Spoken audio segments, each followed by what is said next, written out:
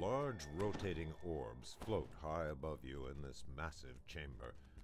Mounted on the far wall is an ancient chronometer.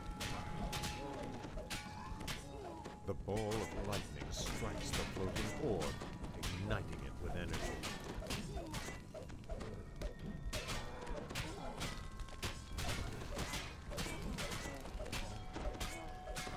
The magic arcs through your body a second time with no apparent effect.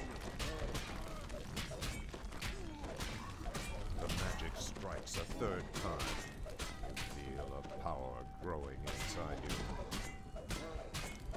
The ball of lightning strikes the floating orb, igniting it with energy. The fifth arc slams into you, its power overwhelming your body.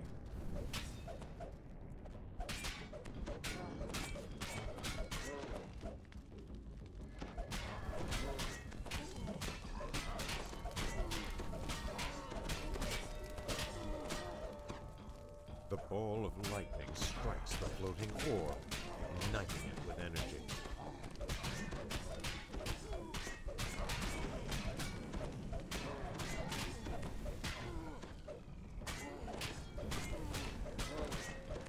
Before the killing blow can be delivered, the Stormreaver fades into the ether, his voice drifting off. The room is still closed. Xen'drik's fate is.